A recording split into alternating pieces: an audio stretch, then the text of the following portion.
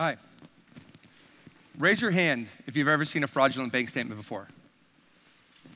Let's get one up on the screen. Can anyone detect the fraud?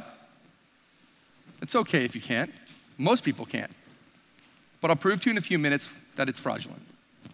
We've done this test around the world with fraud analysts, people with 20 years of experience, where we've told them the document is fraudulent and still they miss 90% of the signals. It's not their fault. They're undetectable to the human eye. So companies around the world are trusting these manual review teams to be the first line and sometimes the only line of defense to keep fraudsters out of the business and reduce fraud losses. Yet the task is impossible because you cannot detect it with the human eye. But Inscribe, we're here to stop that. My name is Brent Casper, VP of Sales and Success. And I'm Ronan Burke, CEO and co-founder of Inscribe. And today, we're going to show you how you can reduce risk and grow revenue, all with the power of AI and Inscribe. Let's take Jane Deere here. We want to write her a loan. We're going to probably ask for some documents like bank statements, pay slips, you know, information like that. But we want to make sure that it's the right documents. We don't want a bank statement from two years ago or six months ago. We want maybe something from the last 30 or 60 days. So we're going to verify that in real time so that she can move quickly and effectively through the process.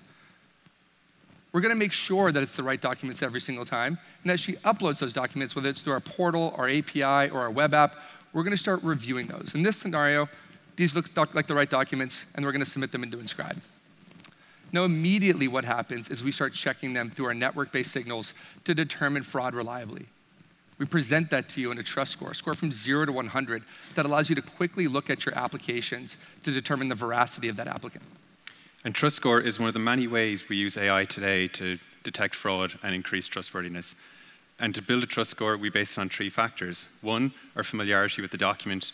Two, any anomalies or false positives we've seen on similar documents. And three, the severity of the fraud signals.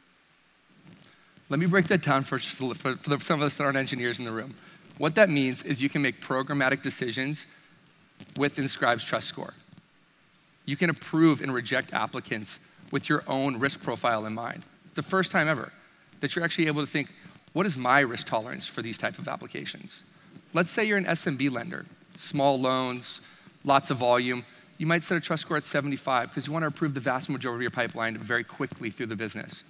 Maybe you're a business lender, really big loans, and almost everything needs to be reviewed with at least once with a manual review. Inscribe can support both of those options. We give you the context to move through your applications quickly and with the confidence to make the right decisions. But in the case of Jane here, let's double check and look what a manual review might look like. So as you can see here, Inscribe caught a lot of fraud. For example, if a previous version of the document was able to be recovered, if software was used to modify the document in some way, if the format of the document deviates from what we were expecting, which is an example of one of our network-based detectors, or if the creation date and modification date don't match, and many more. And just double clicking into X-ray, what we can do here is actually recover the previous version. So on the left-hand side, you can see the version that was provided to you, and as we slide the slider over, you can see the version that we were able to recover. And you can instantly see the fraud that has been perpetrated here in terms of editing the name and address. Inscribe uncovers this in seconds, which would previously undetectable to the human eye. So I hope I kept my promise in proving to you that this document was fraudulent. But these details matter. The context matters. Why? Because when we're rejecting Jane here, we're not only going to reject the application, but we're going to add Jane to the block list. We're going to say, Jane, you're never going to defraud us again.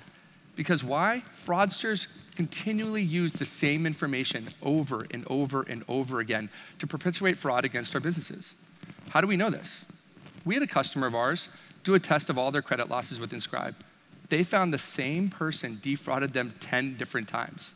This is a company that had manual review processes, top tier security experts reviewing these applications, yet they missed it.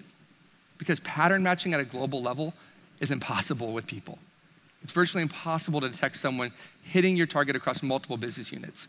You need the power of AI to support you in this fight. And what's even more powerful about AI is how it gets better and better over time to help you detect more and more fraud. At Inscribe, we are the creators of the document fraud detection category, and we've been building and training our models on millions of data points over the past half decade.